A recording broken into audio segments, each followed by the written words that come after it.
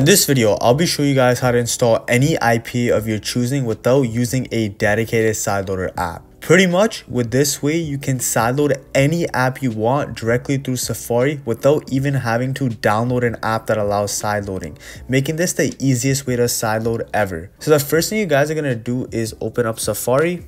And in Safari, you're just to simply go to this website link, WFS team here. And in Safari, you're just to go to this website link here, WSF team here. And the first thing you guys are to do is simply just go into downloads. And now all we really need is the config file. So click on config profiles. And from here, you guys can really just download any one of these. All of these work, but I would highly recommend using MadNS. So you're just to click on that here. Click on allow. And then it'll say profile has been downloaded. So just click on close. And once you guys have gone into settings, you're just going to have to click on profile downloaded and then it'll say install profile. And obviously this is the official link. So everything is good. And then just click on next, click on install, click on install. And now the profile has been installed. And now that it has been downloaded, just make sure that it is on MadNS plus install only. This is very important as this config setting will allow us to install any app we want. And so now you guys are just to go back into WSF team, click on back here. And now we just need to download these certificates. So just click on download certificates here, certificates, and then just download the zip file here.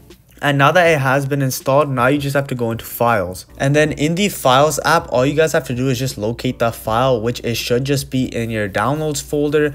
And once you guys do locate that, just simply tap on the file here to extract it. And it has now been extracted in this folder here called certificates 2. The reason why it says 2 for me is because I've already extracted this file previously. And so if you guys just click on the certificates here, you'll see all of the certificates here. There's about 14 certificates and this is very important as we will need these to sideload the app online. And now we can just head back over to the WSF team here, click back, click back. And now we just have to click on portal signer. And you'll see a bunch of stuff but don't worry we have everything that we need downloaded already.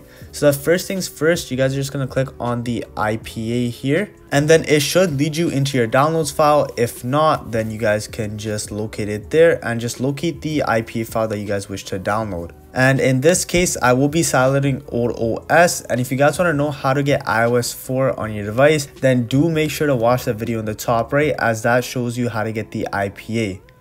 Anyways, now that you guys have selected the IPA here, you can see here that old OS has in fact been selected. And now we need to look for the mobile provision file. So again, you're just to click on mobile provision. Make sure you guys don't click here, otherwise it won't work on file selected. You have to click on the text here and you're just to go back and locate your certificates folder from here.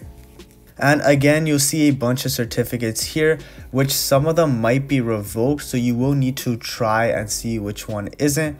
For now, I know that the education certificate and Vietnam Bank works, which is at the bottom here. So for this video, I will select education, but do remember that these may not work for you depending on when you guys see this video. Anyways, I'm just to click on the education folder and now you guys can see that the only file you can even select is the mobile provision file. So select that and then you should see it over here. And then again, go to P12, tap on the text and it should automatically bring you into that folder. If not, just relocate it again.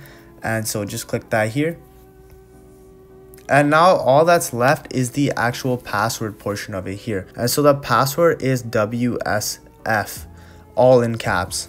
And now you guys can just click sign from here. And it does take some time, so just be patient. And once it has signed, it'll say open this page in iTunes, click open, and then click install. And now as you guys can see, my old OS is installing. It will take some time, but yeah, you guys can just wait for it to in fact download. And as you guys can see, my old OS app has finally been downloaded. But before I do open that, I just want to show something here. So if you guys click on advanced options here, if you guys want to do some extra modifications to the app, you guys can. So if you keep scrolling here, you can even change the app name, app version, minimum iOS version. You can add tweaks. You can even change app icon, uh, remove supported devices, and do all of that here and so when you guys do make these changes for example just click on a here and then obviously you're just gonna have to re-sign the app doing the steps that i did before. And now if you guys do just click on the old os file here it'll give you an untrusted enterprise developer.